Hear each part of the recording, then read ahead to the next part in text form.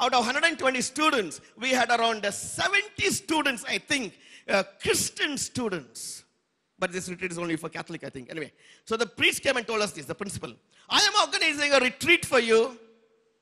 It is not compulsory. Everybody said hallelujah. Good news. You know what happened to my retreat? Nobody went. Not one person. Why? Fed up. I had a friend, you know, uh, he managed to get 12 of us for the retreat. December 18th and 19th is my retreat. 1976. That's my first retreat I made. And came a guy. He was the first lay preacher ever to preach the gospel. I don't know how he got in touch with my principal. Maybe he came to the principal and said, you know, can I preach a retreat? And therefore the principal said, I don't know this guy, but he's a lay guy. He wants to preach. So he said, not compulsory. If damage is done, it's done only to 12. Mhm. Look at us. 12 of us attended the retreat. This layman, 1976, preached the retreat to us. What a guy. What a guy. We were 12. We thought, oh, we'll go make this retreat. Saturday night, it was Saturday, Sunday, Saturday night, we will party. But this guy, the preacher came and killed that party mood. You know what he did? A very shrewd guy. He put six chairs in front, six chairs behind. He stood in the middle and he preached to us. I want to tell you the best preaching I ever heard. Then, of course, now I've heard better. What I'm telling you, amazing guy. We were glued. No songs, no keyboard, nothing. One guy. Two days. Smashed us. We sang two songs in two days. Can you believe it? two songs to I mean, poor chap is a good preacher, but a horrible singer. Do you know this song, Into My Heart, Into My Heart, Into My Heart? Come into my heart, Lord Jesus. That song, two days. Morning into my heart, 11 o'clock into my heart, 2 o'clock into my heart, 4 o'clock into my heart. End of the day, he came into our heart. Hallelujah. What is more important? I'm not saying music is bad. Praise God. Our retreats have become much better. But you see, our problem is we don't give the gospel. The gospel will bring conversion. You preach the gospel, it will bring conversion. I'm preaching for the last 34 years. The Lord touched me at that retreat. I heard God tell me, Come follow me, Colin. I finished my commerce, got into computers, did successfully well for 12 years. My heart was on God. I said, Lord, I want to give my life to you. I want to become a missionary. And in the year 1992, I left my job. I'm here. Heart. Response. Yeah, you risk some things in life, right? Of course you risk. So, you want to follow the lifestyle of the leadership style of Jesus, hey, make sure, brothers and sisters, get quality resource to your groups, to your ministries, to your parish, please. Don't say he's not from our parish. Excuse me.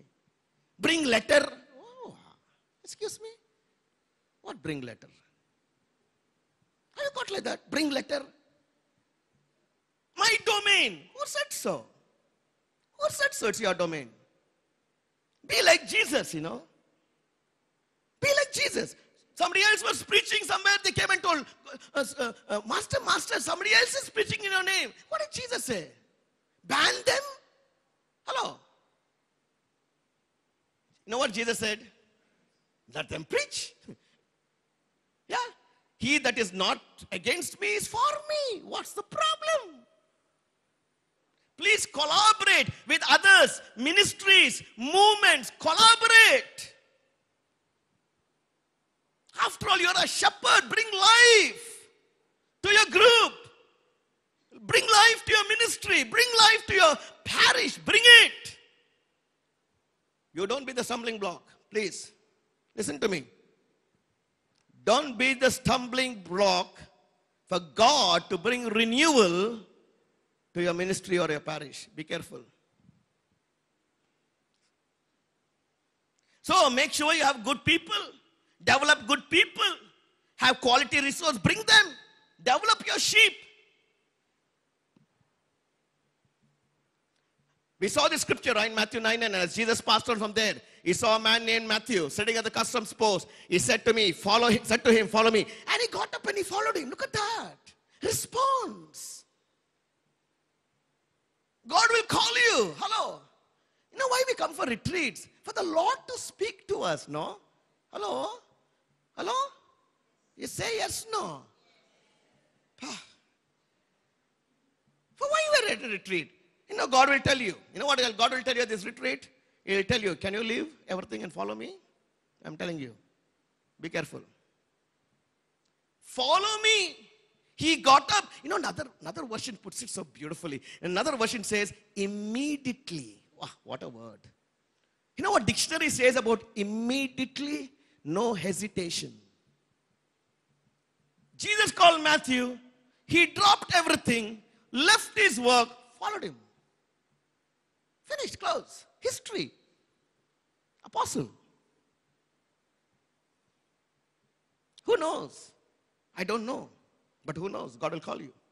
I'm not saying God will call everybody to full time mission. No. But I want to tell you something. You know, I tell it everywhere across the globe. I want to tell you. I tell all my friends in Bangalore too. Wherever I preach, I tell them this. You see, once you reach the age of 50, 55, take early retirement. Retire. Retire, please. Give some good years for the kingdom of God. How long will you work? Who wants you at 80? With one stick. I am willing, brother. Wherever you go, there I will come. Who wants you, sir? Now, give your life now. 50, you work towards your finances. Have a capital fund. Works towards it. Free yourself to serve God. That's why Jesus said the harvest is plentiful. The laborers are few. Pray that the Lord may send more laborers. Don't just pray, Lord, send forth more laborers. You pray, Lord, I too want to become a laborer. Amen? Yeah. 55. Retire. Don't keep on working, working, and fall dead somewhere. Matthew, wholehearted response. Look at that. God called, he responded. Everybody. You read Matthew chapter 4, uh, Matthew chapter 4, 4 to, uh, yeah, uh, 16 to 18, uh, 4 to 18. Call of Simon, Andrew, James, John. All said yes. Wholehearted response. When God called me, I resigned. Believe me. Yes, it was difficult. Not for me, people around me. I knew. I discerned. Yes, I discerned. When God calls, we want to discern. When we want to get married, no discernment. You better discern who you're getting married. You want to join the congregation, discern. Don't join and then discern. Hello. I discerned for four years and God called me. I went. I was 32 years old. Peak of my career. Did extremely well in my computer job. And the Lord told me, enough. Leave it. I left everything, followed him. I'm here. Say hallelujah. Hallelujah. Hallelujah. When you when you respond, he will bless you. He will bless you. He blessed me. Financially, materially, ministry, family. Yeah, he blessed me. People told me, Colin, what will you do for money? What will you do? Who will support you? I said, I don't know. But I knew one scripture, Philippians chapter 4, 19. My God will supply all my needs according to his riches in Christ Jesus. Amen. Philippians 4, 19. Hmm? Today, 35 years. You know what people told me in my prayer group? Colin, who will marry you? Uh-huh. Who will marry you? No bonus, no salary, LTA, no medical, nothing. Who will marry you? I said, who knows? Nobody marries, no problem, right? Hello, look at the married people. Other side is greener, no? I said, I didn't care. If nobody married me, I didn't care. Why? Focus. Matthew 6:33. Seek first the kingdom of God and his righteousness. All these things will be added to you. I focused on God and I ran through my life. Nothing worried me. My friends got married. Yeah, they all got married. My juniors got married. When I went to a wedding feast, they used to ask me, when is your marriage? I didn't care.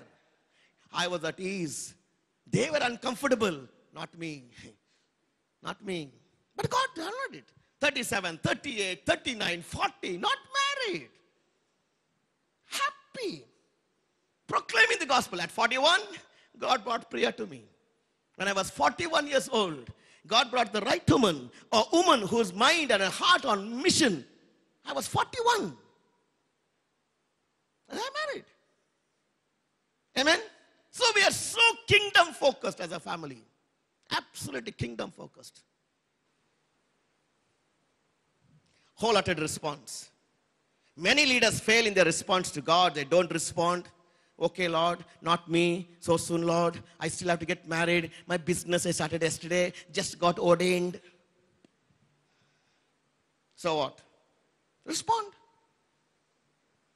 Say yes to Him. Here am I, Lord, send me. Yeah. Here am I, Lord, send me. We say, Here am I, Lord, keep me. Send someone else. Have you noticed how we, we talk? You talk to the youth, they will tell you, Why me? I'm only young. I'm only 25. Take that uncle, 58, retired, doing nothing, watching TV. Take him. Go to that uncle. Why me? I'm retired. Take the youth. They do nothing. Go to the. Who's going in the Catholic Church? Nobody. That's why they call the Catholic Church a sleeping giant. Nobody wants to go. Will you go? Will you go? You know why you came here? To go. You know that? On Friday, of course. Yeah, you came here to go. God has called you to go. He said, Come, and He'll take go too. We don't hear go, we only hear come. Everywhere come. Hey, excuse me. There is come and go. That is how the gospel is all about. Many leaders start very well. They give their heart to God. They surrender their life to God. They surrender everything. After a few years, inside the heart, there are other hearts. You see that? Attachment. This problem, that problem, money, women, property. Gone. Erosion. That love has gone for God. That first love has gone. There's an erosion. Something else is occupying your heart. Is it like that? Clean it. Then only God will use you. The leadership style of Jesus is that, you know, good leaders are those who are willing to take risks. Hello? Are you with me? Say hallelujah. How much of risk we take? Hey, married people. And what about the religious? Didn't you take a risk? Yeah, we take risks. Take a risk for the Lord. I, I took a risk for the Lord. I still remember. I still remember, you know, when I was in college and I finished my, my commerce, um, th- there was this girl. She was also in a prayer meeting. This is what she told me. She said, Colin, why don't you come to Dubai? My father is in an excellent position. He can get you a job the next day. 1980. I told this girl, Rosa, I am not coming. I am just five years old in Jesus. I want to make sure I build my life on the firm foundation. I am not coming. And what a good decision I made. That's why I'm here. If I went to Dubai, who knows where I would have been? Chasing money, maybe. Look at me. What I'm trying to say is take a little risk. Yeah, risk their life, job, risk not being too stereotyped, risk being criticized, persecuted, not uh, risk having enemies. Risk it. It's okay. Will everybody uh, will everybody be pally with you? No. Will you get enemies? Sure. So who cares? Did Jesus have enemies? Yes. More than you and me. Hmm. So what? So what? Preach correctly and preach the gospel. Nobody can say anything to you. Look at Jesus, his leadership style. Luke 14 33. Unless you renounce everything, you cannot be my disciple. Unless you renounce everything, you cannot be my disciple. Renounce. You know what renounce means? Give up. Detachment. Nothing wrong to own a house. Nothing wrong to drive a car. But be detached. So that tomorrow God can put your finger and say, give that car away. Who knows? Detachment is important. That's the Jesus was detached, you know, uh, uh, left everything. That's the leadership style of Jesus. Nothing, nothing attached. Fox have holes, birds have nests. Son of Man has no place to lay his head. Ah, what an amazing style of Jesus. In the year 1992, I was invited to preach a college retreat in one of one city in India. I reached at 11:30 in the night, and next morning, I, another guy also was with me. Next morning, we met the principal. He looked at me and he said, "Are you the one who's going to preach the retreat?" I said, "Yeah," because he thought Colin means six foot three. You know, this guy is four feet nothing. Oh, you? I said, "Yeah." But that, that's my first year in mission. So I was not so bold, eh? like now. Then he asked me, What do you do? Hmm. I just left my job. Huh? Hmm. Not so easy to tell the priest, I'm a full time missionary. You know? What?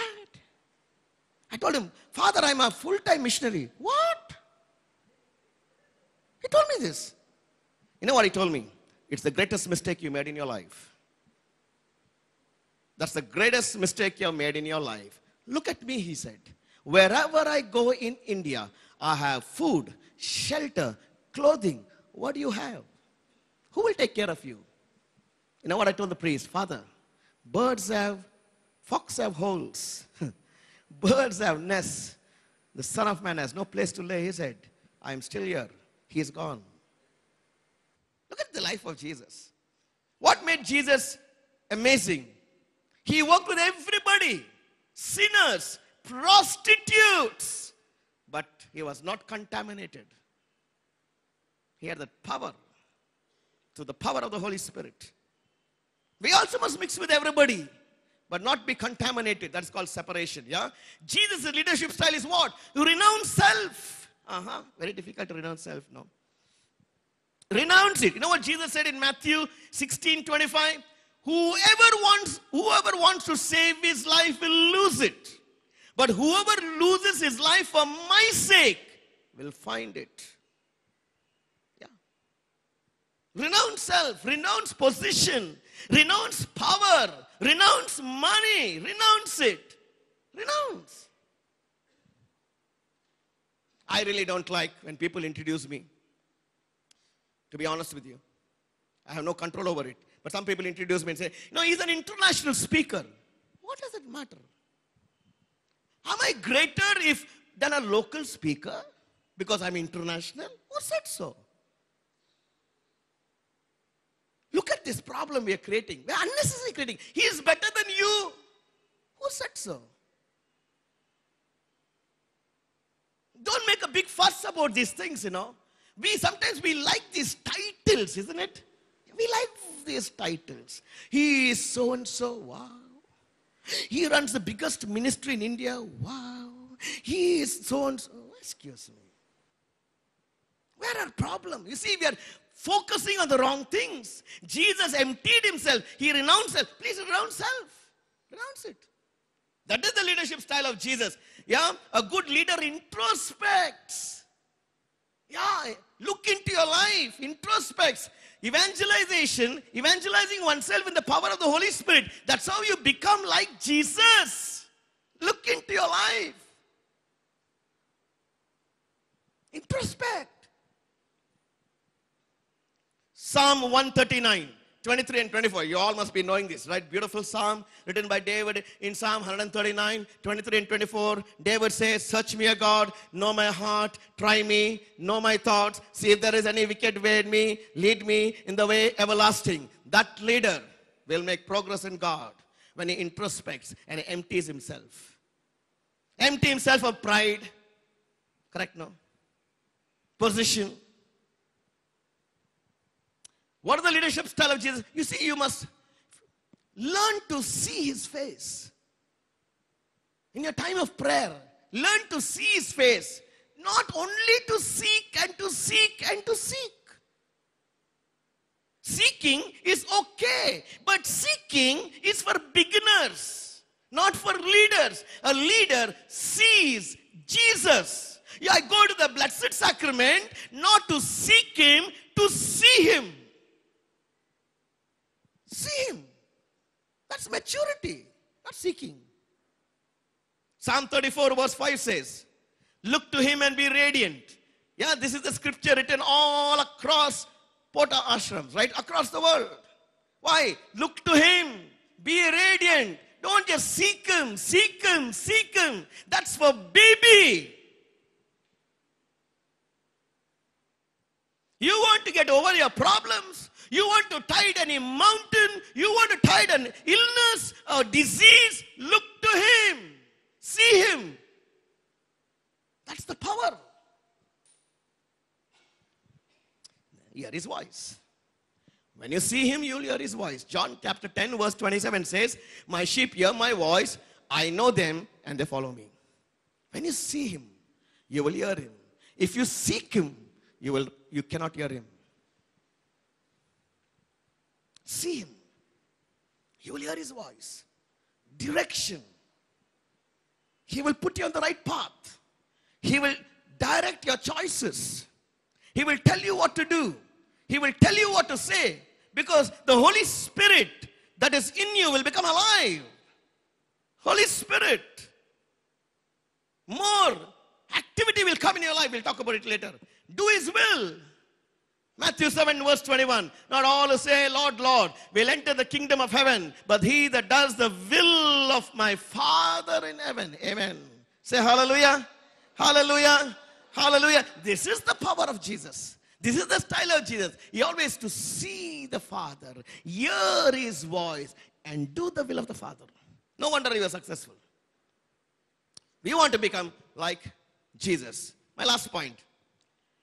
The leadership style of Jesus is this become the message and the messenger, please. Don't only become the messenger. Hello? Don't only become the messenger. Please become the message too. You must walk the talk. Just don't talk. Why was Jesus, Jesus' leadership style is he was the message and the messenger. I tell this to everybody, I want to tell you before I close. Please listen to me. Are you listening? Please listen to me. Follow the message, not the messenger. Don't make the messenger your God. Hello, whoever he is. Retreat director, so what? Is your savior or what? There is only one savior, sir. You know who that is? Jesus. Follow the message, not the messenger. Follow the message. Don't make people idolize people. No, that is not the leadership style of Jesus. No, no, no, no. That's not the leadership style of Jesus. But make sure you follow the message. Follow the message you're getting at this retreat. Don't become, you know, uh, idolize people. No, no, don't do that. Make sure you follow the message and very, very important in our lives. Yeah? So, in conclusion, a good leader will imitate and follow the leadership style of Jesus. You want to be an excellent leader, not a mediocre leader, just came into position. Anyway, I'm only five years, I'm going to be only three years, then I will go somewhere else. Hello, excuse me? Are you living like that? One term in a charismatic prayer meeting, one term, then they move you out, another term. That's why, excuse me. Make sure you influence. Make sure you follow the, imitate the life of Jesus. Make sure you exercise influence. They will remember you and the message you preached. You know that? Focus on people's development, make them disciples of Jesus. Yeah? Focus on people, not on projects. Train sheep, listen to me, train sheep to become shepherds. Don't train sheep to be sheep. What's the point? You failed in your duty.